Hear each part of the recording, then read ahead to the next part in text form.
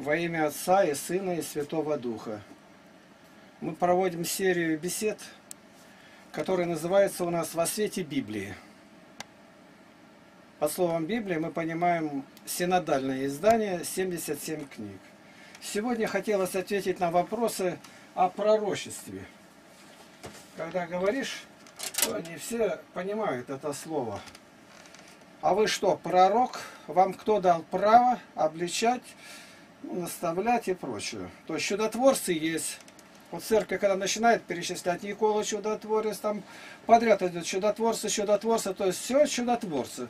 А почему пророков не поминают? То есть их вообще нету. Блаженный, памятный, праведный, там каких только званий нету, великий. Ну, я не против этого. Но что нам говорит Библия? Я за эпиграф беседы беру Евангелие от Иоанна, 12 глава, 48 стих. Господь говорит, я вас не сужу. Слово, которое я говорю, Слово Божие, оно будет судить в последний день. А последний день мировая история закончилась. С чем мы туда придем? Вот этот вопрос надо сегодня себе поставить. Как я живу? Сколько было разных вождей, учителей, патриархов, пап. И у всех были последователи, были заступники, были хулители. Но Бог будет судить согласно Слова Своего. Если бы наша жизнь сегодня наладилась по Слову Божию, то она бы мгновенно вся изменилась. Любой строй, он не выдержал бы даже одного дня. Вот нигде не лгать. Что, ГАИ остановилась, они, как теперь называют, там ДПС, э, Дума перестала работать, президент бы в пепле и прахе плакал, потому что политика это грязное дело. С ним прежде всего договариваться, с любым правителем, э, кто руководит всем, то он-то тоже не главный.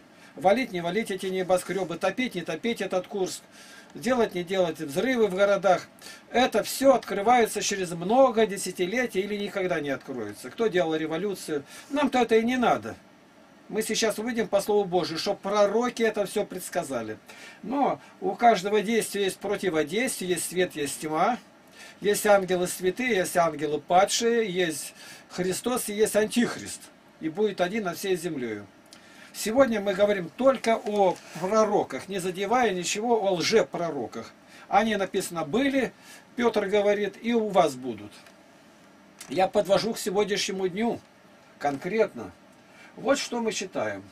А, слово пророк, пророчествовать в полной святой Библии, 77 книг, встречается 664 раза. Я специально это буду выделять. А в Новом Завете 207 раз. Ну ведь 664 это почти 666. Против всех лжепророков хватило бы, чтобы не принимать никого, никого не бояться. Будешь праведник, написано, смел как лев. Правителю нравится полная покорность, чтобы его никто не обличал, и мы увидим, чем это кончается. Священникам это же нравится. Везде нравится. Хозяин тиранит всю семью, пьяница нравится, когда сожительствует с дочерью, еще только не открывается сегодня, благодаря вот этой гласности. Также нравится патриарху, чтобы все перед ним сгорбатились, в полусогнутом состоянии было. А если бы сказали, со мной поступай так, как Бог тебе велит, по совести, и заботились о двух только вопросах, я говорю о православных, рождение свыше и водительство Духом Святым. Церковь православная сегодня бы должна в пепле и прахе, не поднимая головы, лежать годами. Тысячелетия на Руси эти слова вообще не произносятся. А рождение свыше. Ну найдите у русских проповедников за тысячу лет, не за два. У Игнатия Бринчанинова поищите, у Феопана Затворника. У всех. Они понимали это или не понимали? Вот я вопрос этот задаю, потому что мне Бог дал это. Я в сознательном возрасте, в 23 года, в 62 году, 27 э, сентября обратился к Богу по Евангелию. Хотя с детства от пеленок уже знал, что Бог есть и страшный суд. Мы говорим сегодня о пророчестве. Есть ли пророки в России? И кто попадает под это звание? И как это по Библии рассматривается?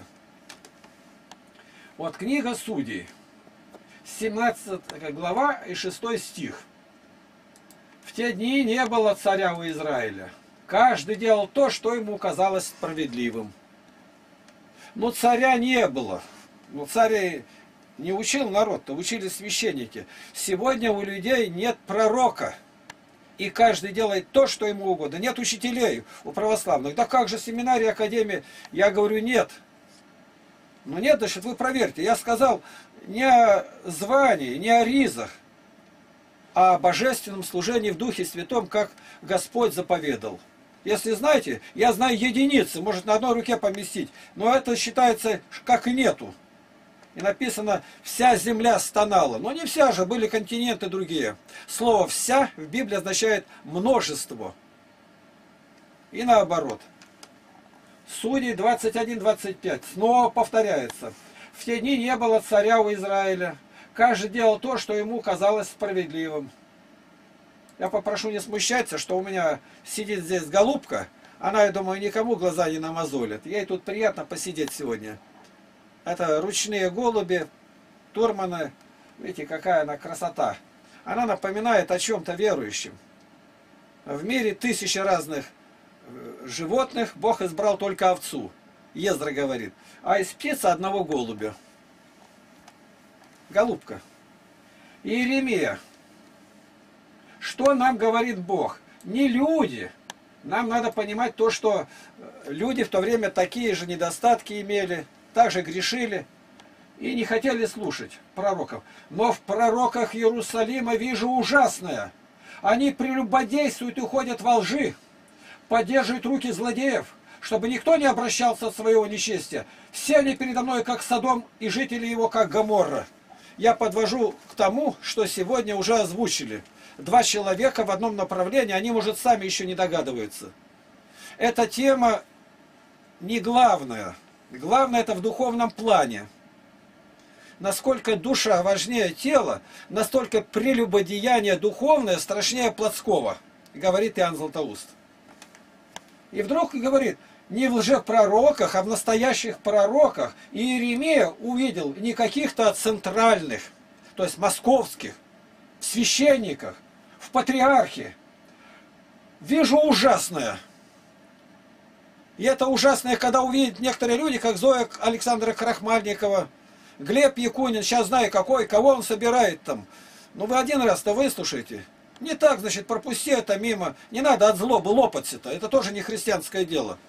Привыкли по безбожьему делать, чтобы ничего не сказать. Пророческий голос должен быть услышать. 650 лет до Рождества Христова этот голос прозвучал. Что? Они прелюбодействуют. Это в пророке прелюбодействуют. То есть священники. Вот это вот голубое лобби. Вот это разные идут навстречу, я их не звал. И ходят во лжи. Поддерживают руки злодеев. То есть эти пророки, священники ходят во лжи. Но сегодня, если они себя считают руководителем народа и поддерживают руки злодеев, которые так делают, не обличают ни депутатов, никого, молчок. С разведенными, с прелюбодеями сообщаются. Вот это голубое лобби, мне это не надо совсем, я даже не верю в это, что такой грех могут люди делать, а хотя он есть. И вот говорит, что? Чтобы никто не обращался от своего несчастья. Прошли тысячи лет уже после Содома и Гоморры. Содома и Гоморра на дне моря мертвого. Но говорит, все они передо мной как Содом и жители его как Гоморра. Не в городе Казани это только. Все люди, которые отступают от Бога и прелюбодействуют. Пусть даже не к всех меньшинствам относятся. Это не имеет никакого значения. Все они как передо мной, перед Богом. В глазах людей они другие, они нормальные. Если нашелся один человек с пророческим глазом и сказал, что вы, женщины, незаконно наживающие детей, Б. Это сказал один тут. Глава миссионерского отдела в Томске. Максим Степаненко. Это пророческий глаз. Мгновенно его задавили. Свой архиерей, другие патриархии, люди. То есть вот они, они злодействуют и не слышат. Бог пророков посылает. Восстает Андрей Кураев, ему это не надо, его жизни это угрожает. Но он сказал, озвучил то, что другие сегодня боятся. Боятся сказать. Еще один человек восстает, третий, четвертый сразу. Это псевдоправославие, это сектанты, это еретики. Сектанты, еретики. То есть они этим жупелом жгут друг друга. Человек в прелести, это гордыня. Вот это трафаретное мышление манкуртов, это манкурты, церковные манкурты. Лука 7,16. И всех объял страх, и славили Бога, говоря, великий пророк восстал между нами, и Бог посетил народ свой. А что же страх-то объял-то? Да не было пророков, не было царя, и каждый делал что угодно. И вдруг эта тема была озвучена, люди Бога не знают. Лживая вера. Я неоднократно задавал вопрос церковным служителям. Скажите, Израиль подготавливался к встрече Спасителя? Да, подготавливался. Ну, от времени избрания первого Авраама уже пророчества были. Из вас самих восставит Господь пророка, как меня его слушайте. Это Моисей сказал в Второзаконии. Ну и пришел что?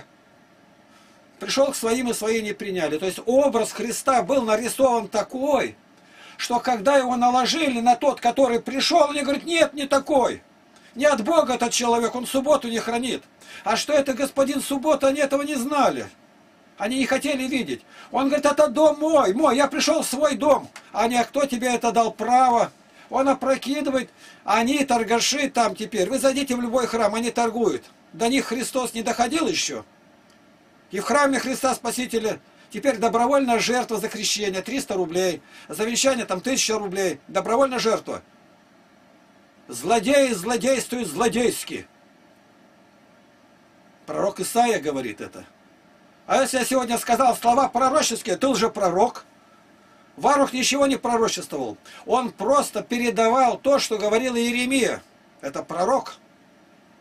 И слово пророк звучало на каждом шагу в Церкви Христовой. Сегодня его нет, заморили. И сегодня против слова пророк больше всего будут церковные деятели, около церковные круги. Они будут как псы бросаться. А что он себя пророком выставляет?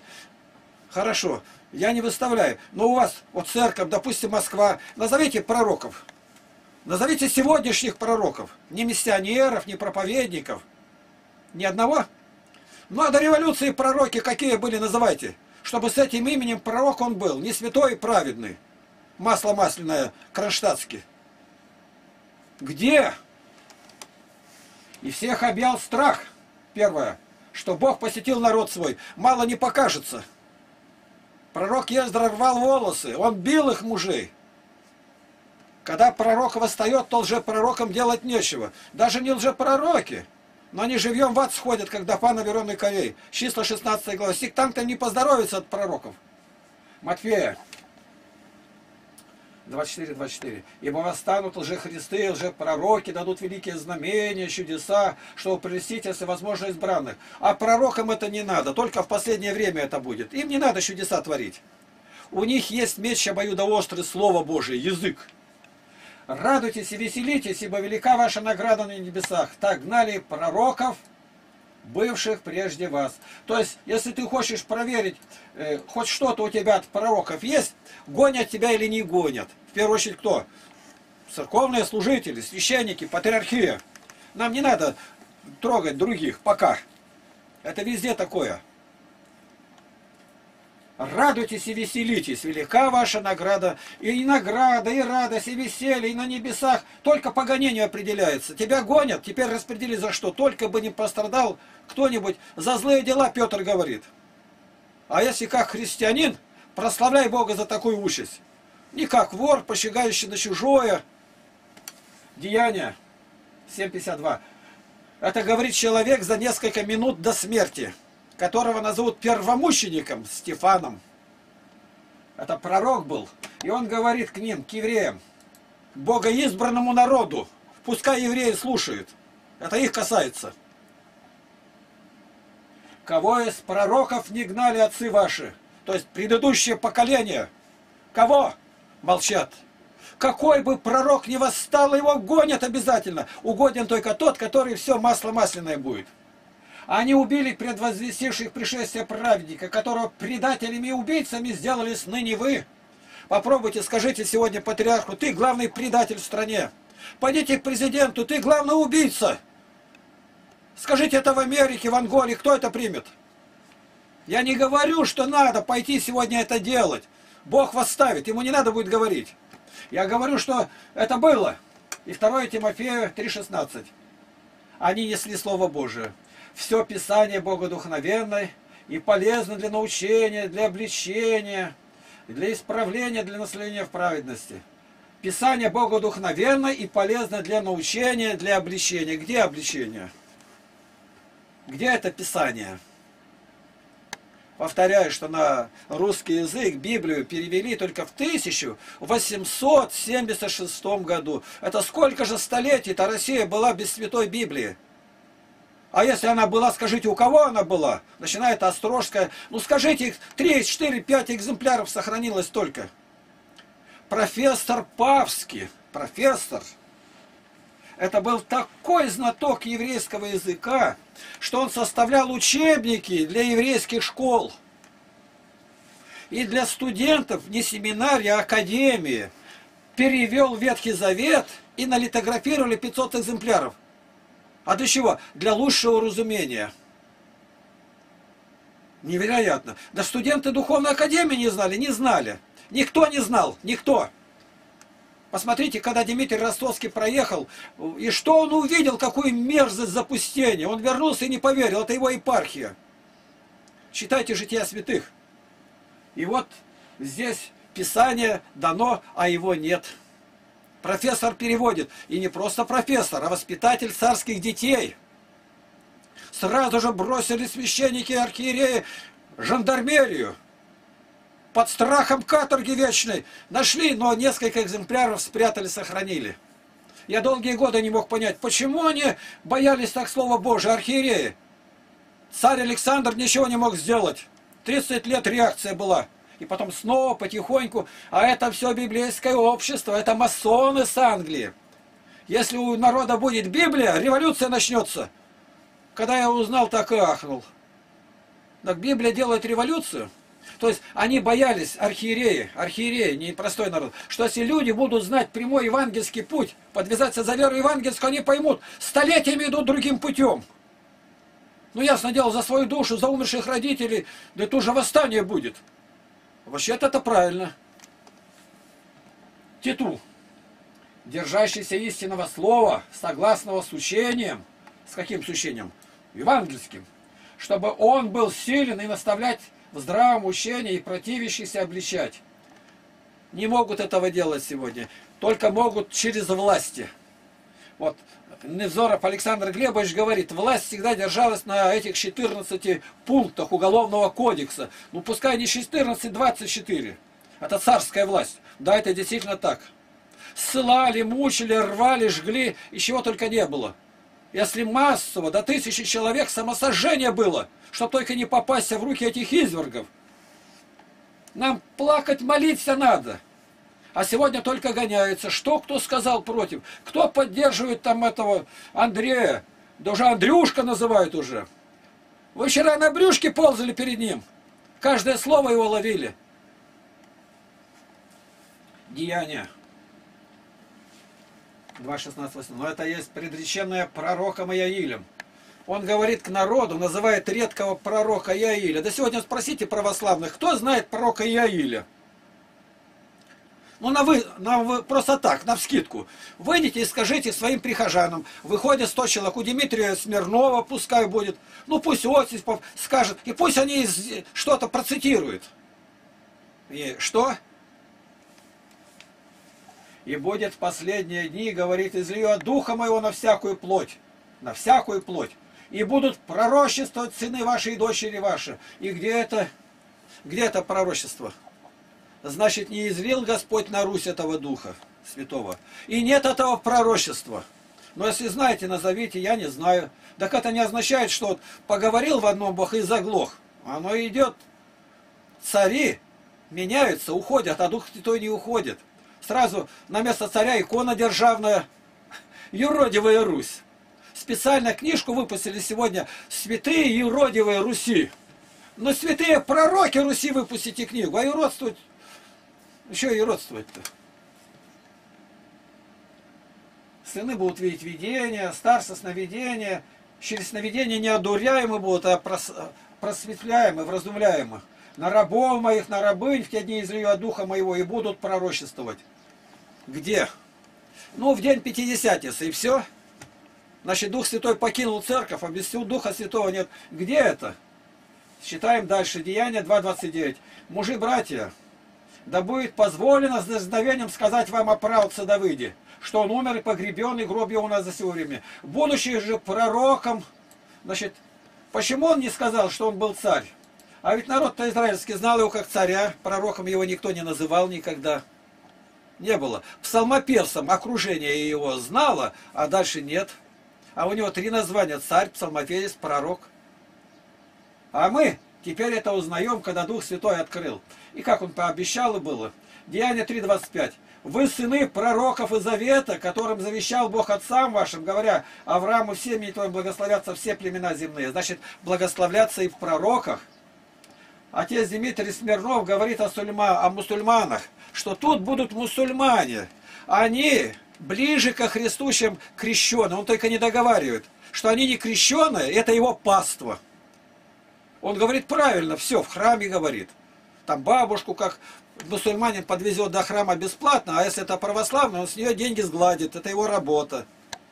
Он не говорит только, что это его паство, он ее такими сделал. Жестокими, безжалостными, лживыми. Это ваше паство. Помните, если порожденного, когда допрашивали и сразу прогнали, он проклят в невежда народ. Так это ваш один из ваших прихожан, это вы их такими сделали. Почему проклят невежда в законе не могут сказать ни свидетели Иеговы, ни баптисты, ни адвентисты седьмого дня? Они их учат. И не потому, что они умнее, а их привел Господь к познанию истины. Сейчас скажут, да он еретик. Не еретик я, совсем я православный. Но надо сознаться, что Слово Божие они знают лучше как-то пошли наши к адвентистам седьмого дня. И там на кафедре говорит, итак, открываем пророка Даниила, глава седьмая, и вот только шорох стоит, как они страницы перелистывают, бабушки одни сидят. 200 человек и 200 Библий в руках. Да у нас ни одной в храм придут нету, ни одной. У католик хоть розарий, молитвенник есть. У нас католичка одна ходила в Барнауле, в Покровский собор. И она все время с этим розарием стояла, считала. Если ничего не знает, непрорубная тьма. Чаще исповедуйтесь, чаще причащайтесь. И перед батюшкой, батюшка благослови, батюшка благослови. Все, вера кончилась. Как у старообрядцев. Ты еретик, переходи к нам. Проповедь еще короче. Ты еретик, переходи к нам. А вот я сказал, к чему это в мусульманах. Мусульмане придут, с голубым лобби будет покончено в течение одного дня. Мне это не надо. Но вы не пытайтесь прекратить. Вот как сейчас с пьянством решают, где продавать, сколько метров от учебного заведения. Никому это не сделать, чтобы был сухой закон. Мусульмане это сделают. У них в законе это прописано. Такие люди недостойны ходить по земле. Вот эти люди, которые навешивают на себя перстники разные, там придумывают, тысячи, рекорды ставят. В один день они уйдут. Они не будут осквернять землю. Так ты что, за мусульман? Хорошее я беру везде, но это не наше. Мы можем только любовью. Я не одобряю убийство никого. особенно вот этих тронули плесуней в храме. Ни одного мудрого не нашлось, чтобы сделать. А когда Андрей сказал не трогать их, накормить блинами, так прославили не знаю как. Пусть без блинов, пусть бы отодрали нагайками, но не садить их. Закрыть храм на три месяца и молиться перед храмом, чтобы слез было больше, чем рядом в канале воды. Чтобы патриарх там стоял под дождем, под солнцем. И народ бы весь обратился расшиковались. Яков 5.10. В пример за страдания и долготерпения возьмите, братья мои, пророков, которые говорили именем Господа, Господним. Кто именем Господним сегодня говорит? А как священноначалие, а как об ННН сказали о паспортах священно... Не Библия. Архиерея тут одного спрашивают. И скажите, а что важнее, вот каноны которое церковь издала, книга правил вселенская, или э, нам синод скажет, да, конечно, синод. Даже не спрашивают. Я говорю, ну что важнее это? Ну что нам сказали Вселенские соборы или вот патриарх говорит, конечно, патриарх. Ну что мы можем дойти? 2 Петра 1.19. И при том мы имеем вернейшее пророческое слово. Почему не сказал священническое слово? А это пророческое слово мы теперь передаем другим и сами становимся пророками. И вы хорошо делаете, что обращаетесь к нему, как к светильнику, сияющему в темном месте. Доколе не начнет расцветать день и не взойдет утренняя звезда в сердцах ваших. Вы хорошо делаете. Понимаете? Когда к Слову Божию, к Библии обращаемся, это хорошо. Это не баптисты только. А кто не обращается, это нехорошо. Нехорошо. 2 Петра 2,16. Но он был облечен валам в своем беззаконии бессловесная ослица, проговорив человеческим голосом, остановила безумие пророка. То есть она оказалась выше пророка. Он был пророк, это не лжепророк, он предсказал пришествие Христа, а это был языческий человек, и Библия называет его пророком. И написано, Дух Божий был на нем. Сегодня многие этого не понимают. Да это же Валаам, это... Он был сребролюбив. За это и пострадал. Но он был пророк. Звездой в ущах все поем-то. Откуда мы это взяли-то? Это от него. Он это видел. За 1600 лет. Дальше. 1 Коринфянам 15. А женщины могут пророчествовать? Да, могут. Ну и назовите хотя бы одну женщину пророчеству. Пусть московская патриархия назвает. Ну нет, Матрона, это все искусственно надувает. Ее пророчество не называют. Другие имена придумают. Пророческое слово не прилипает ни к кому. Так это живые даже пророки. Живые, не Ксения Петербургская, юродивая. Всякая жена, всякая, молящаяся или пророчество с открытой головой постыжает свою голову, ибо это тоже, как если бы она была обритая. Вот и все. Посмотрите, как одеты мусульмане, как в нашей общине. Кто бы ни посмотрел, все говорят, как красиво это выглядит. Два платка, повойник, одеты, ни одной волосинки не видно. Когда без платков, это значит, там пророчеств нету. И где бы ни были, выступали, вот сидят там разные ведут, и Максим Шевченко, и кого только нету. Везде до одной женщины сто процентов все без платков. А мужчины или в галстуке, или воротник расстегнуты. Это мода. Галстук я объясняю, а почему именно расстегнутый должен быть, а не просто вот так застегнутый, я не могу понять. Но это тоже что-то есть. Все расстегнуты, расстегнут такую женщину до самого конца. Или галстук, или вот так. То есть нормально стоять никак нельзя. Обязательно нужно или вверх ногами, или на одной ноге. 1 Коринфянам 2.10, 12.10. Иному даны дары чудотворения, ну согласно, чудотворца. Иному пророчество. А где оно? Иному дано. И притом дано, Павел пишет это Каринской церкви, в которой было блудодеяние, по сегодня мы сказать там, ну, нетрадиционные, может быть, были. Это портовый город. Тысячу только официальных было блудниц, которые обслуживали приходящие корабли. 1 Коринфян. Иных Бог поставил в церкви, во-первых, апостолами, апостолов у нас называют, а во-вторых, пророками. Это не апостолы. В-третьих, учителями. Сектанты не могут назвать учителей, потому что они не признают церковь от апостольских времен. А пророков хоть одного могут назвать Агава, а другие не могут. А они были пророки, их были тысячи. Дальше. 1 Коринфянам 12.29. Все ли апостолы? Мы говорим, нет, 12,70. А все ли пророки? Не все. А все ли учители? Учителей называют. Все ли чинотворцы? Пророки были, но не все. Не все, это не всем дано было. Достигайте любви, Павел говорит. Ревнуйте о дарах духовных, особенно же о том, чтобы пророчествовать. Если пророки кончились, то зачем это? И действенно ли это слово сегодня? И учат ли семинаристов, и учат ли батюшки в храме, особенно ревновать, Господь, дай духа пророческого. Если дух пророческий был бы в церкви сегодня, в той мере, как а, а, ревновать Павел говорит, достигайте, ревнуйте, то патриарху не пришлось бы спать и ездить на таких лимузинах и, и священникам, и другим, до самого низу. Я ничего не имею к патриарху, к другим, но я говорю, что ну, соблазн не надо давать-то. Я на это их вообще не смотрю. Для меня главное в священниках, проповедуют они Слово Божие, Евангелие или нет. А личная его жизнь он за это ответит. Мне не надо выявлять. А говорят, да правильно, неправильно. Павел говорит, когда руку полагает, чтобы от внешних иметь доброе. Чтобы не было нарекания. А даже от внешних. Надо учитывать это.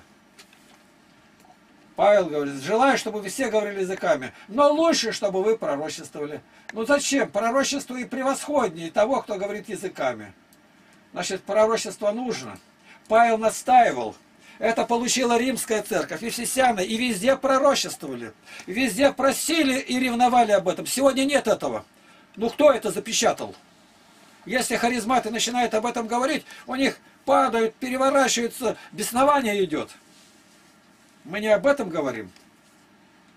Значит, вина священства падает на то, что церковь оказалась без пороческого духа. А дух блуда наполнил все. Я не имею в виду плотской дух. 1 Коринфянам 4.24. Но когда все пророчествуют, и войдет кто неверующий или не знающий, то есть, что пророчество, то он всеми обличается, всеми судится.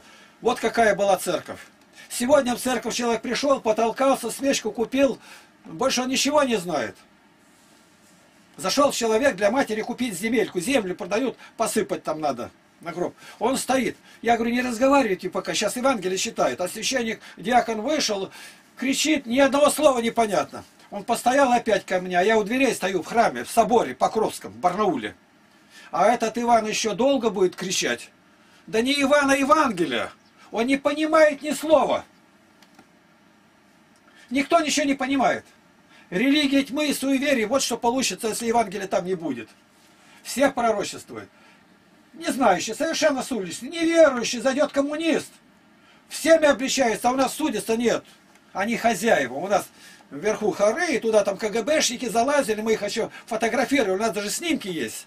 И они оттуда наблюдают за всеми. Им-то там зачем там быть? Но так было, я не сегодняшний день говорю, более ранее. Вот все пророчествуют. Войдет к вам, кто куда войдет? В церковь, где молятся. Нет духа пророческого. Нету, вообще нету. И никто никем не судится. 1 Коринфянам. И пророки пусть говорят двое или трое, а проще пусть рассуждают. Пророки. Это была единица такая. И они двое или трое должны говорить две-три проповеди. Сами подумайте, что это такое. 1 Коринфянам 14.31. Ибо все один за другим можете пророчествовать, чтобы всем поучаться и всем получать утешение. То есть поучение и утешение. И мы увидим, что называется этим. Все один за другим. То есть один другого не перебивает. И духи пророческие послушны пророкам. А сегодня это за оскорбление. Ты еще себя за пророка выдаешь. Кто ты такой? То есть это, если я за вора выдаю, за олигарха, за грабителя, за депутата, за насильника, за убийцу, сойдет. Я сам был в пяти тюрьмах. Меня тоже обвиняли по 190 статье Прим. Распространение заведомо ложных измышлений, порочащих общественно-государственный строй. У меня статья была, я отбывал сроки. За распространение Иоанна Златоуста, 12 томов насчитал. Жития, архипелаг ГУЛАГ, трагедия русской церкви, огонение, патриархи Тихони, о расстреле царя. Не было этого. Ну как же не было? После освобождения я прихожу, у меня были эксперты, одна была Нагорная, Надежда Ивановна, кандидат наук, философских наук, э, медицинский университет, город Барнаул. Я пришел и говорю, ну вот вы меня судили, давали, это же было, я брал интервью репрессированных, раскулачивание было, а вы говорили, не было. Так у меня дед был раскулачен. Так а что ж тогда говорила, не было? Так меня с работы уволят. Я называю фамилию, имя, я не буду говорить тут, Считай, надо всегда озвучивать. Вот у меня 30 книг выпущено открытым оком. И там 84 свидетельства о том, кто как пришел к Богу. И все адреса даются там. Не так, что один советский товарищ сказал. Адреса и телефоны. Им звонят со всех стран мира. Как они пришли.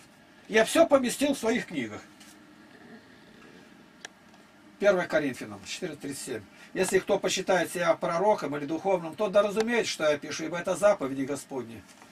Оказывается, даже заповедями Господними, что есть? Только кто пророчество знает и духовное, тот да разумеет. Остальные этого не понимают. У них убери сегодня вот это батюшка благослови, и они ничего не знают. Завтра будут на вилы их поднимать. Священники ничего не понимают, какую они готовят себе беду. Итак, братья, ревнуйте о том, что вы пророчествуете. Ревновать надо. Снова об этом говорит. Ну а скажи, я прочитал это. Ну а как ревновать? Да меня никто не спрашивает. Я знаю, как ревновать. Об этом надо молиться. Я в школе учился. У меня физика, математика, это пятерки. Я просто склад души моей такой. Я люблю цифры, математика. Физика, все. А в русском языке у меня тройка. А почему? Я не могу, я скажу, без ошибок пишу, а я не могу высказать. У меня речи вообще никакой не было. Не было. Литература тройка. Нету. Остальные пятерки. Я стал молиться, и зараз Бог это дал. В школе не было иностранного языка. Закончил, его не было. Надо об этом ревновать. Ну не было, я не знаю ничего, совершенно. Десятку, десять классов кончил, написали аттестат зрелости, а, ну и написали там тройка иностранный язык. Его не было, вообще учителей у нас не было. Самостоятельно в армии, за службу в армии выучил английский, немецкий, французский. С англичанами беседовал, немцев проповедовал самостоятельно. Учатся политологи сегодня. Я самостоятельно во время армии выучил практически все политические системы мира. А времени не было свободы. Я в морфлоте был. В ракетных частях. Надо к этому побудить человека. Была побудительная причина. Я почему этого не знаю? -то? Войну и мир считаю половина по-французски, а я не знаю. Я буду знать. Готовлюсь поехать в Грузию, сразу покупаю учебники и самостоятельно начинаю учить грузинский язык. Пообещали мне выехать куда-то, я сразу за испанский взялся, за греческий. Человек все может, его надо только толкнуть, показать. Но это оказалось мне не нужно совершенно.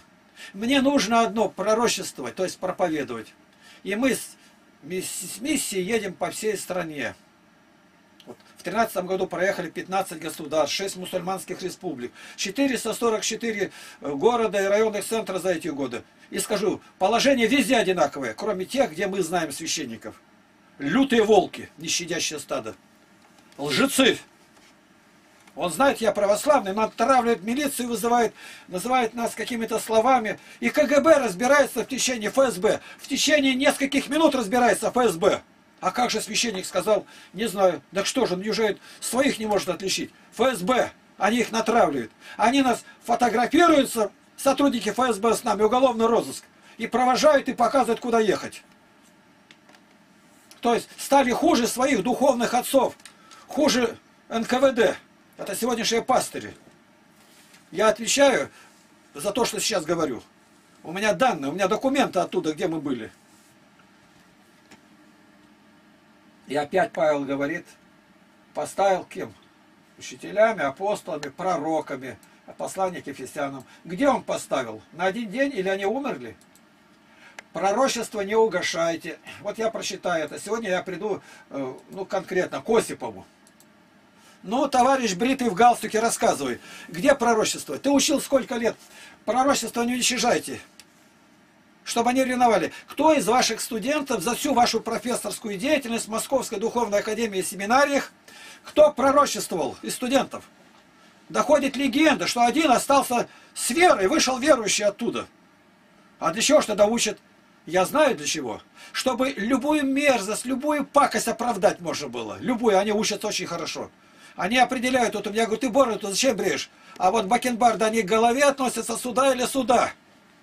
Да посмотри, они по-другому волосы растут.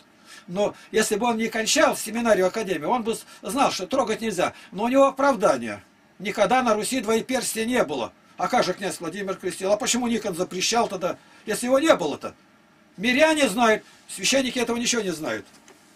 Они заботились только одно, об одном, чтобы этот обманщик не воскрес и чтобы не сказали ученики, что он воскрес. У них была тоже забота. Скрыть воскресшего. Это же делается сегодня. Это делается синодом на другом уровне. Настоящего Христа люди православные не знают. Они знают, его по батюшкам судят. Не не ради, а пребывающим в тебе даровании, которое дано тебе по пророчеству с возложением рук священства. Кого сегодня рукополагал вот, патриарх? Сколько он рукополагал-то? А за это отвечать придется. Каких поваров на рукополагали? По пророчеству, что было пророчество. Ну и пусть назовут они конкретно. Ефесяна, евреям. Но пророк, укоряя их, говорит, то есть что пророк делает, укоряя? Какой пророк сегодня укоряет их? Пускай покажут. Где? Когда? Если это пророк, почему он, патриарх, не пойдет к президенту, не скажет, не должно тебе иметь эту жену? У тебя законная жена, с которой стоял ты там, свечки жег. Почему ты по-прежнему с ним ту же дружбу водишь-то? Почему голову свою с этим кухолем ушастым не положишь на эшафоте? Поэтому в народе этот разврат, поэтому в священниках это голубизна. Все может быть. Я не знаю. Я просто к примеру говорю. Я не говорю, в какой стране это было. Может быть, в Греции или где-то. Но ты же видишь беззаконник. Иоанн Креститель пошел, сказал Ироду, почему ты это молчишь? Празднование святому Златоусту, говорит, это подражание ему. Откровение. 2.20. Имею против тебя, что ты попускаешь жене Изавели, называющей пророчествою. Учите вводить в заблуждение рабов моих, любодействовать и есть идоложертвенное. Вот сегодня и как раз позволяет любодействовать, прикрывают, не вытаскивают их на арену. А пусть докажут, а это слова, посвящениях сегодня я читал, там Васильев какой-то, только ахнешь. Как же они его могут держать, такого лицемера? Но этот грех тот, который на улице не делает. Бывает, целуются, я видел, целуются. Но я не видел, чтобы они грешили с погружением. Нет этого. А как ему доказать? Это выходит так, чтобы издалека надо стрелять, как в белого медведя с натворными, когда творят, в анабиоз, чтобы они впали. И потом вести его куда-то под микроскопом и ну, рассматривать, кто кем оплодотворился-то. Ну же, понимаете, это недоказуемо. Деньги еще как-то мечены. Ну как этих-то меченными сделаешь? Ну, понимаете, это невозможно. Но он сам сознается. А почему они не идут тогда, священники не воюют против этого? Ну пусть их спрашивают, почему они против, когда гей-парады идут. Почему гей-парады в мусульманских странах не идут? Нигде. Не идут и не будут идти. Почему? Там закон другой. Развратная власть, развратное закон, развратное священство. Все один разврат, прелюбодей и прелюбодейца. Я говорю да не о физическом, о дружбе с миром. Все, кто дружит с этим миром, это духовная проституция и Откровение 22.9. Смотри, не делай сего, ибо я сослужитель тебе и братьям твоим пророкам. И соблюдающим слова книги сей. Сослужитель братьям твоим и пророкам. Я специально это выделил. Значит, были в то время, и он видел их на небе, и они там были. А вот это вот надо наизусть заучить практически всем. Какого вероисповедания не были. Прелюбодеи, прелюбодейцы. Не знаете ли, что дружба с миром есть вражда против Бога? И так, кто хочет быть другом миру, тот становится врагом Богу. Здесь не говорится ни о мужеложниках, ни о скотоложниках, ни об измене в семье, ни о Б, которая свирепствует в стране и в церкви. Здесь просто дружба с миром. Живут-то по-мирски, мирская терминология. Я смотрю другой раз, патриарх говорит, минут 20 и ни одного слова божественного нету. Разные слова, кого-то дары какие-то волхвов нашли, то поезд Богородицы. Зачем народ-то обманывать-то, когда доказательства этому нету ни одного процента, ни одного. А это большая вера, это неверие. Златоуст говорит, я не нуждаюсь в чудесах. Я верю в Бога. Мне не нужны иные языки, потому что я верю. Это Иоанн Златоуст говорит. И кто дружит с миром, не надо хвалиться этим. Ты прелюбодей. Потому что мать, невеста, все совмещается в церкви. А церковь невеста Христова. Измена Христу. Это есть прелюбодеяние. Проповедуя не красть, крадешь. Говоря не прелюбодействуй, прелюбодействуешь. Внушая силам, святотатствуешь. О ком это? Это же о верующих говорится. Проповедует одно, а говорят по-другому. Так он что, священник? У него дети, он нормально с матушкой живет. Из театра не вылазит. Театралы. И только ли это? По-мирски все, все захватывают, по-мирски делают. Хватка-то вся мирская. Военные прыгают с парашютами, священники с автоматами стреляют. Туда Бог послал вас.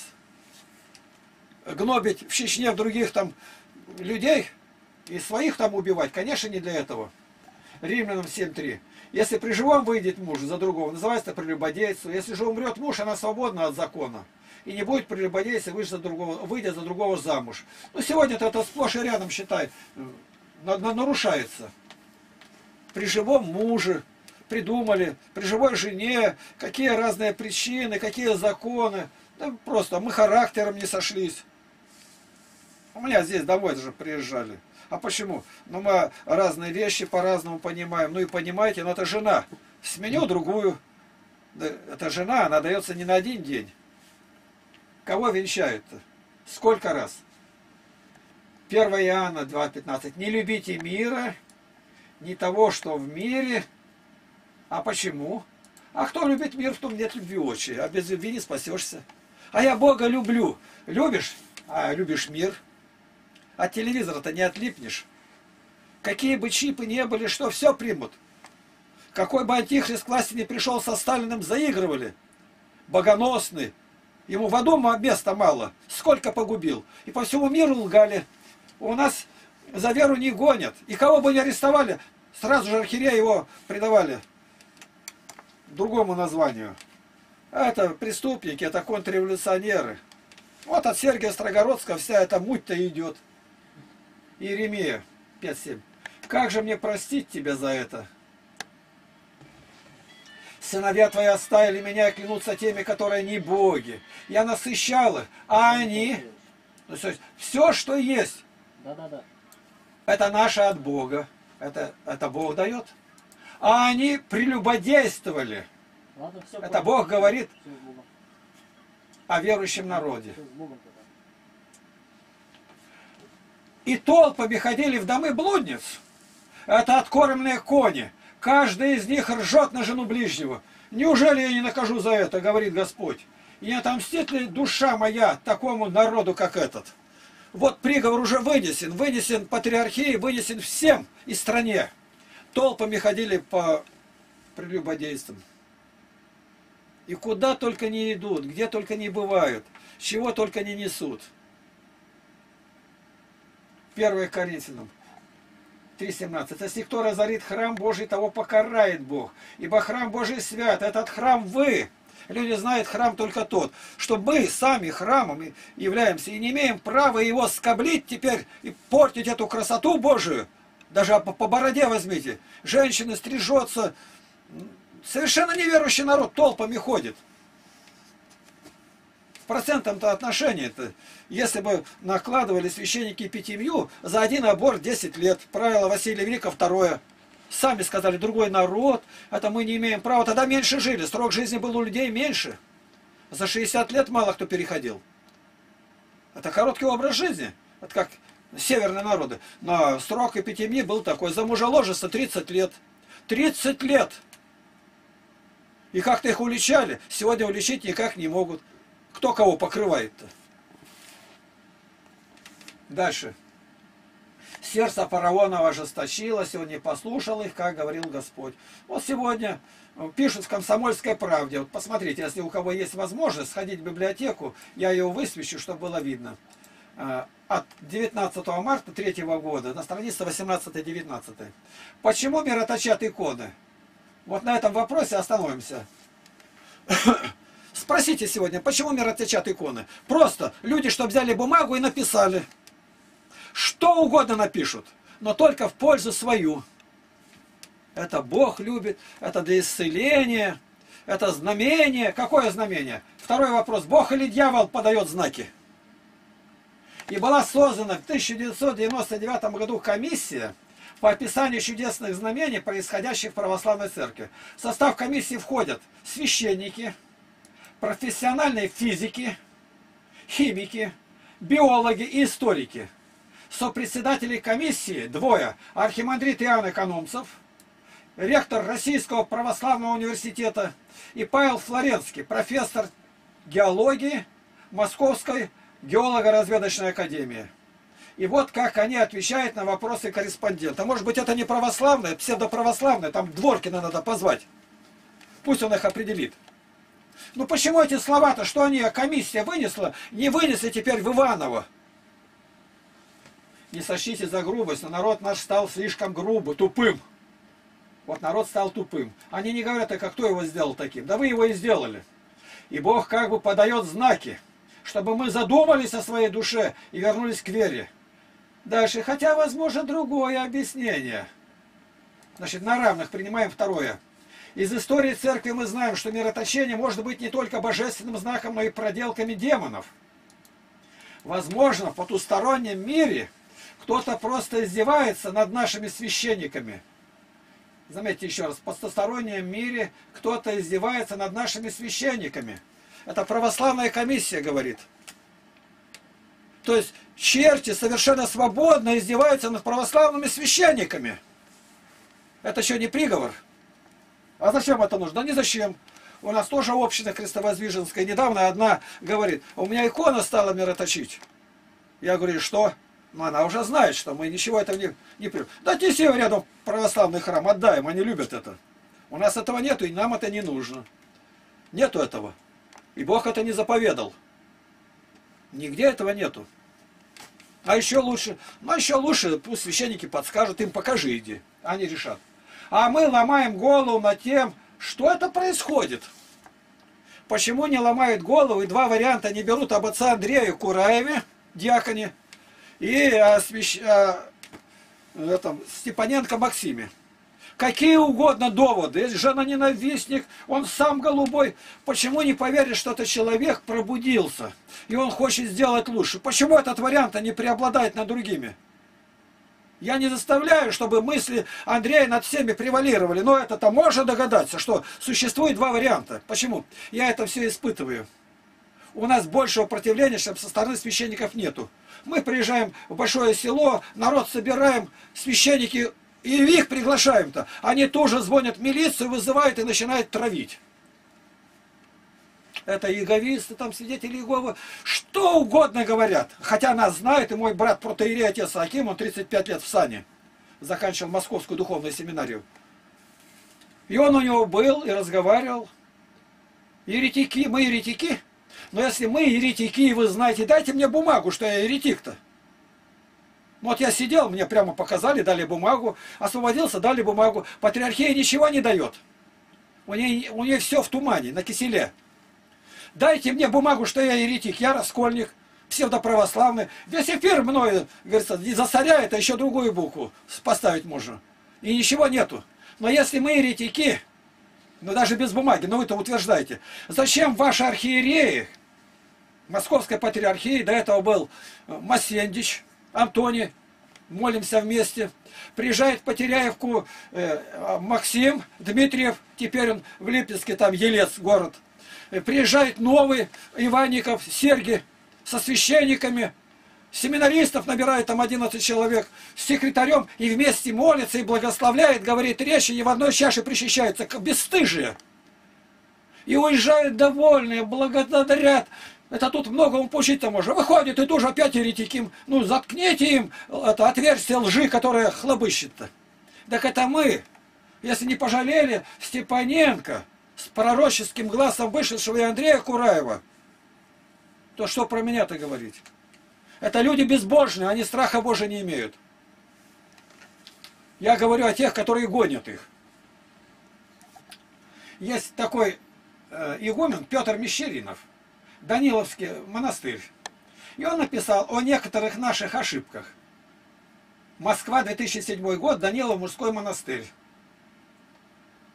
А, небольшая брошюрка, 48 страниц, 10 тысяч экземпляров по благословению патриарха Алексея II. Это не Игнатий Лапкин. Игумен Петр, насельник Даниловского монастыря, преподаватель Патриаршего центра духовного развития, детей и молодежи, автор многих статей по насущным вопросам современной церковной жизни.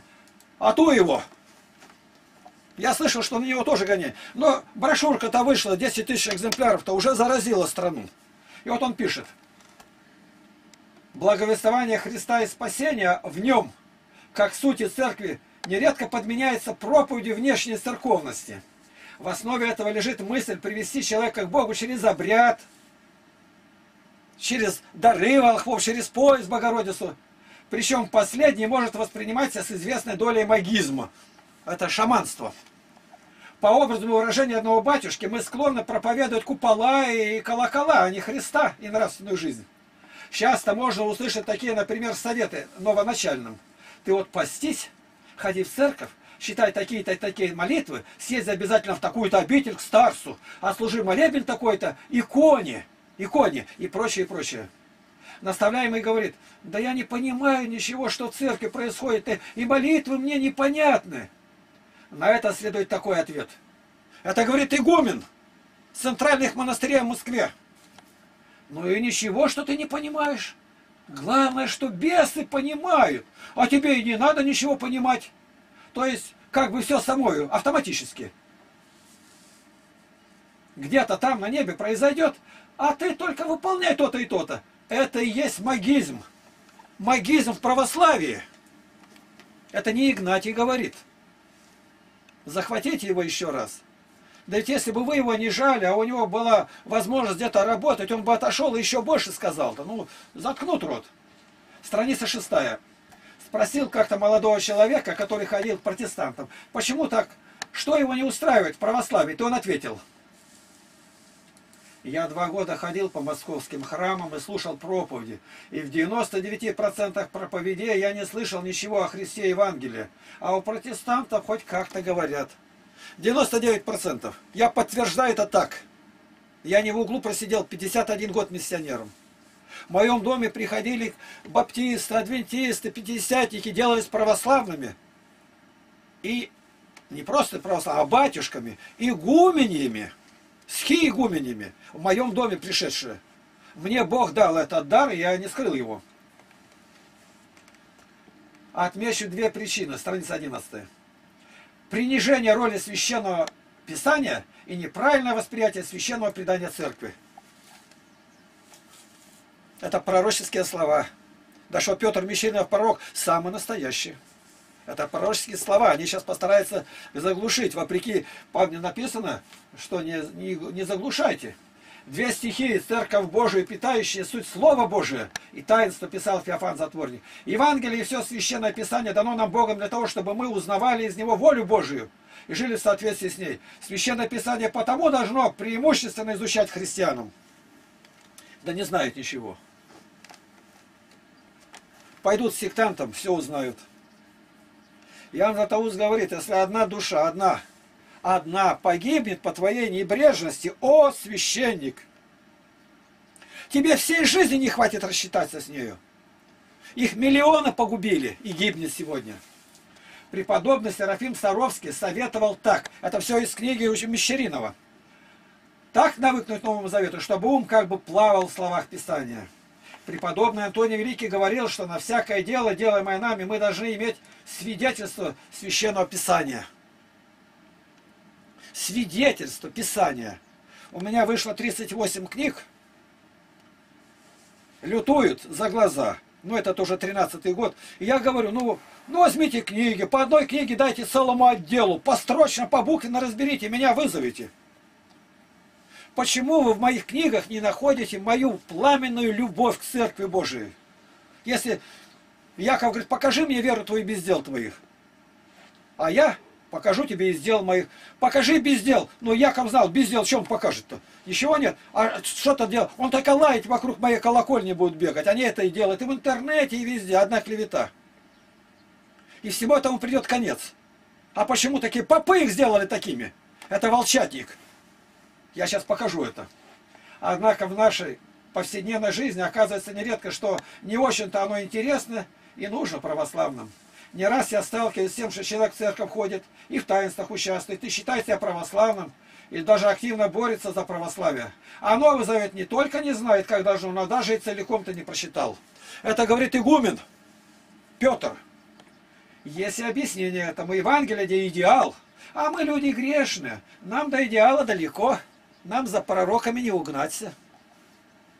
Конечно, Евангелие указывает нам на идеал Христа Господа, но само Евангелие вовсе не идеал, а выражаясь современным языком, точная и неотменимая инструкция в жизни, без постоянного соблюдения которой никакое христианство невозможно. Без постоянного соблюдения. Разве не к этому призывает Степаненко Максим, Петр Мещеринов, Андрей Кураев? Каких Господь выставляет пророков. Это пророки настоящие. Я знаю, как сейчас от смеха они согнутся, переломятся священники. Нашел пророков. Он обличает, и его гонят. Вот два признака. Он обличает, и его гонят. И он против Христа, ни один из них этого не говорит. Напрасно кривляетесь, господа. Вам придется изменить эту тактику. Я вам сейчас скажу почему. К сожалению, когда мы встретимся воцерковить, стремимся воцерковить своих ближних, редко мы обращаемся к Священному Писанию. Между прочим, протестанты подкупают молодежь в том числе и тем, что они активно изучают Священное Писание. Так он еще баптист разве, Петр Мещеринов? Мы беспокоимся, как нам противостоять сектантам. А вот начать с того, чтобы Евангелие перестало быть для нас только святыней для лобзания, а стало активно воплощаться в нашей жизни и в образе мыслей, и в образе действий. Я бы не был таким, если бы не обратился среди сектантов. Я Евангелие получил среди баптистов, пятидесятников, они были вместе. Я ими не был. Я у них получил Евангелие. Получил и ушел. Это было начало моей новой жизни. 51 год позади. Я думаю, что только в моей биографии большинство людей могут найти подтверждение словам Петра Мещеринова. Мы же из церкви делаем этнографический музей. Мы все, погружаясь в дебри аскетической письменности, не только не приобретаем, но и теряем эти качества. Нас интересуют глубины Иисусовой молитвы, абсолютное послушание, мистическое духовничество, типиконное постничество и прочее. Гоняясь за этими журавлями в небе, мы нередко выпускаем из рук синицу обыкновенного человеческого здравомыслия. Вот чего православным не хватает. Обыкновенного человеческого здравомыслия. И получается так, как сказал святой Василий Великий высокопоставленному чиновнику, насчитавшемуся книжек и ушедшему в монастырь. Ты и сенаторство потерял, и монахом не сделался. Приобретя ангельский чин, смотри, не утрать человеческого. Хорошо, что хоть Матюшин так поет, отец Роман говорит. Стал ли я монахом и стал ли я поэтом, не знаю. Страница 17, это Петра Мещеринова. Без Христа все абсолютно бессмысленно. Пусть даже и в церкви. Послушайте, батюшки. Бессмысленно все, что вы делаете, если люди не знают Христа. Двоеверие – явление традиционное для Руси характеризующийся принятием, усвоением обрядовой стороны православия, при том, что дух жизни остается языческим.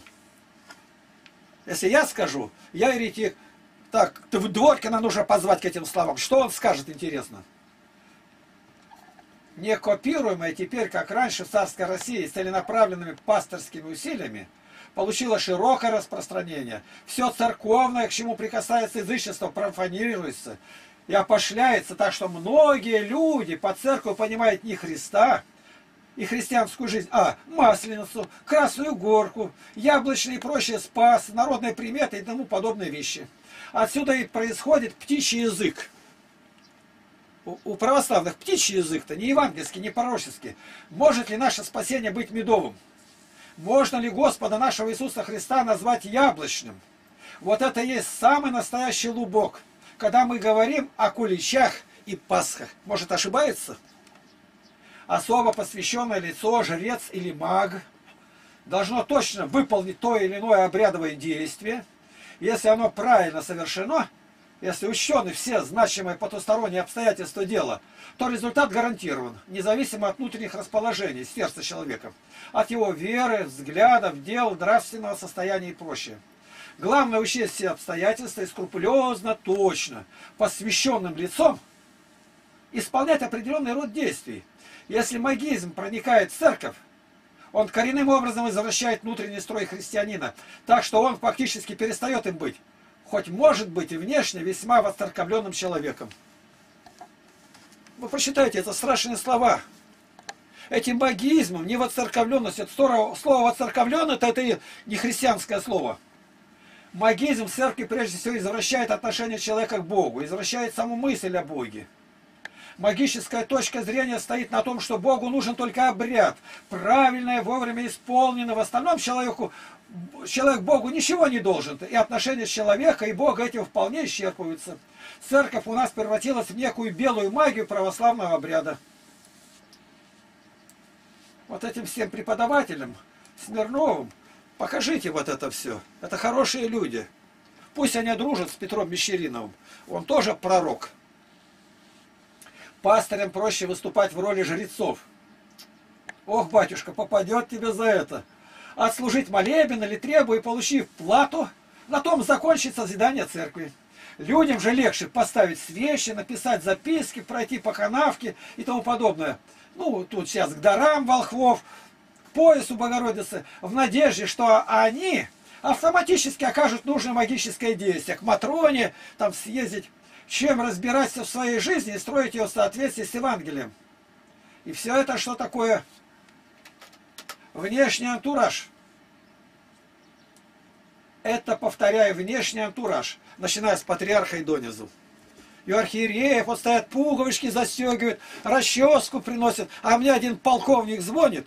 Ну, меня, я в воинских частях проповедовал. Скажите, а у вас еще патриарх больной? Нет. Ну, Алексей был туда. А почему ему пуговки застегивают? У меня внученку я иногда застегиваю, но я заставляю его самого. А ему уже два года. Ну, патриарх у нас 72 года. Он, видимо, разучился. А может быть и не умел. И вот он вид делает, иконы там целует. Это напугал еще восьмой век. У многих пастырей в огромном количестве церковной литературы имеет место именно лубочное, псевдоцерковное христианство. Не у Игнатия Лапкина, у вас. Почему-то многие считают, что работа мысли вредит чистоте церковной жизни. Смотрят на жизнь сквозь узкую щель лубочного мировосприятия. Происходит подмена Бога и церкви ее служителями. И Бог это не знает. А батюшка, батюшка, батюшка, хоть какой. Им хоть сто раз голубой будь, они будут заступаться за него. Послушание становится предметом спекуляции, рабским подчинением, только отдаляющим человека от Господа. На духовников свалится вся жизнь паствы. Люди хотят взамен свободы получить гарантию спасения. Вот запомните, я это всегда говорю. Ты только делай, поп говорит, а ты через меня получишь спасение. Ничего не получите. Это еще Федор Карамазов говорил. Но отказ от свободы есть отказ от христианства. Вообще, этот Петр уже при жизни пророк святой. Духовники становятся безраздельными властителями. Вот Андрей Такураев об этом и говорит как раз. Поддержите его! Клеветники, отступитесь от него, чтобы вас Бог не поубивал всех. Покривляется весь строй не только христианской, но вообще жизни. Манипуляция жизнью подвластных. То есть вот чем занимаются сегодня священники. И поэтому надо пойти к Невзорову, чтобы он сказал все недостатки наши, и их начать исправлять, а не гнать его, не давить его. Не такой-то монах ходит, какой-то Баранов Михаил. Вызвать его поговорить, в чем дело-то? Это у меня тут выше Царионова, это э, Сысоева. Несколько слов переговорили, слышу, уже еретик, сектант, я сектант. Все. То есть прям врагов выискивают. А этот Царионов-то, Дмитрий, там активист всяко называет там НТО. НТО, это НЛО, это НТО. Я называю, что такое? Это, это неопознанный темный предмет. Объект НТО. Его не гнать надо. Его надо обиходить. Вот, правильно русло направить. Его жизнь в опасности тоже. Не с кирпичом ходить, не майки срывать. Вот этого безобразия бы не было. А его принимают, вижу, Дмитрий Смирнов сидит там с ним, разлепешился по креслу. Даже говорить-то а, неприятно. В других религиях для разрешения ровно этих же вопросов существуют гуру, шейхи, шаманы, ламы, падики. Это садики видно. Друнды и прочее. Церковь становится для людей магией. Преподобный Серафим говорил, что когда он говорил от себя, а не от Духа Святого, то бывали ошибки мифологизация всего, что связано со старцами. В жизнеописании одного из них мы считаем, что тот матерился, пил водку, хулиганил и тому подобное. Все это превращает нашу религию из благовествования о Боге в зловествование. Остановитесь, гонителя отца Андрея и Максима и других. Сапером на минном поле должен быть старец педагогический процесс всегда одинаков. Сначала педагог плотно учит человека азам, то есть начальным элементарным навыкам своего дела. Затем ученик обретает все большее мастерство, творческую работу, становится подмастерем, потом мастером, способным уже других учить. У нас же плоды плохи, просто беда. В людях воспитывают безответственность, несвободу, кликушество, ложный патриотизм и прочее. Из книги Мещеринова закончено. Как можно такого человека не щадить? А они, я уже слышал, был в Москве, о, что он претерпел, бедняга. Дальше. Книга профессора Карташова, А.В. Называется «Вселенские соборы». Страница 476. У хронографа Доровея Монобассийского записано такое сказание об императоре Фоке. Один богоносный муж имеющий дерзновение к Богу, слыша о царских злодеяниях, возопил Господу, Господи Боже, за что ты прогнялся на народ свой и поставил такого царя-тирана? За что такое наказание? Чем провинился народ твой, что ты предал его во власть такого кровожадного волка? То есть человек в пустыне молится, и молится. И было этому богоносному мужу от Бога откровение. Православное, слушайте очень внимательно. Много я старался найти царя похуже, чтобы наказать народ за его своеволие, но не мог найти хуже Фоки. А ты впредь не искушай судьи Божии. Почему? Потому такой патриарх. Такие епископы. Потому такая академия, такие семинарии и такие преподаватели. А кто Фока был полковником, он сверг доброго императора Маврикия и казнил его, и пять его сыновей, жену и дочерей, это Ленин. Вот о Ленине очень хорошо говорит отец Дмитрий Смирнов. Большего злодея страна не, земля не рождала. Осия. Я дал тебе царя в гневе моем и отнял в негодовании моем. И вот дает Бог и только, не только царя, и священника, и патриарха, в гневе. Надо думать и молиться за всех, и за царя, и за патриархов.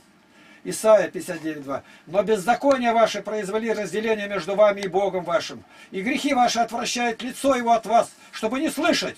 Вот что. И виноват не патриарх, то, что мы окажемся на той стороне. Ни голубые, ни зеленые, ни красные. Вот кто. Грехи наши.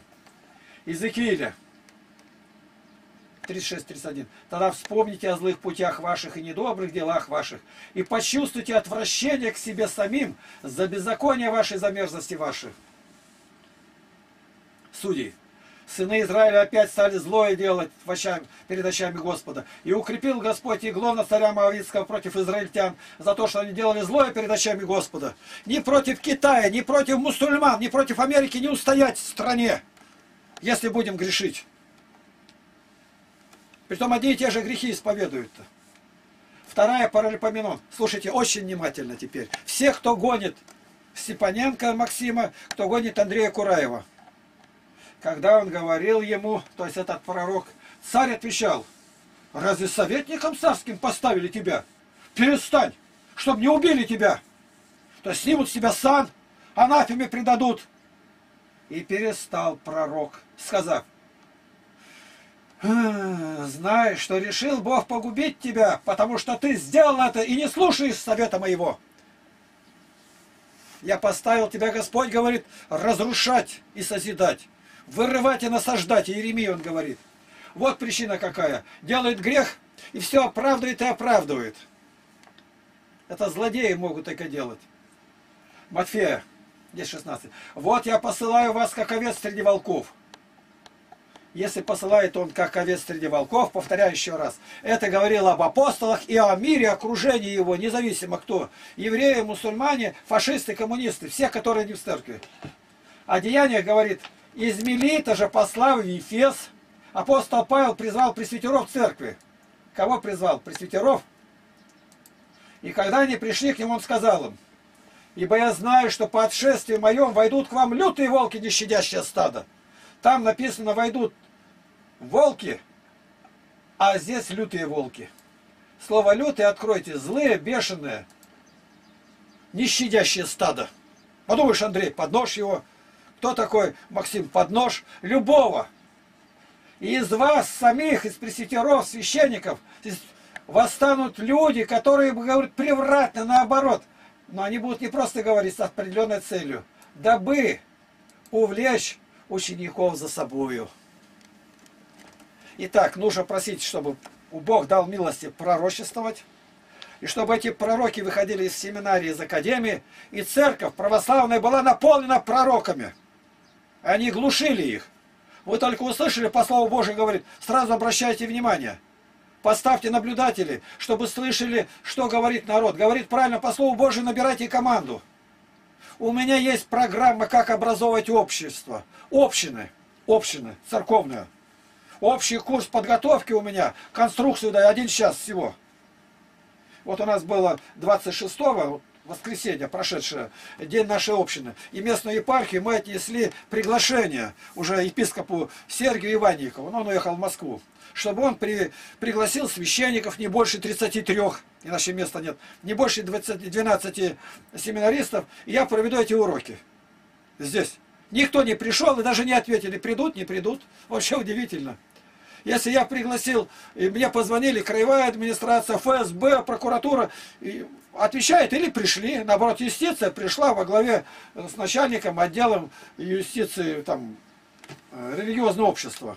Пришел. Маковеев Валерий Иванович, полковник, с нами вместе был, следователь прокуратуры. Ну, приходят люди, когда приглашаем. Патриархия не отвечает, самое главное. Итак, что было сказано, я вам сказал, в духе пророческом, книги эти написанные были. И этим духом пророческим они для вас сегодня изрекались. Кто примет, выиграл. Не, не примет, ответит на суде Божьем. Богу нашему слава, Отцу и Сыну и Святому Духу, ныне присно во веки веков. Аминь. Сейчас я голубку возьму. Она у меня же... Ну сколько? Ну подожди, подожди. Вот она моя красавица. Показать ее поближе. Какие у нее глаза, какие надбровники, а? Вот она где. Смотри. Вот крылышки. Ну-ка открой, покажи. Вот она как. Покажи. Вот она хорошая. Той, той, той, той, той. Обожди. Обожди. Вот она какая голубка. Подожди, потом люди придут, покажем тебе. Вот так. Слава Христу! Эта тема очень важна.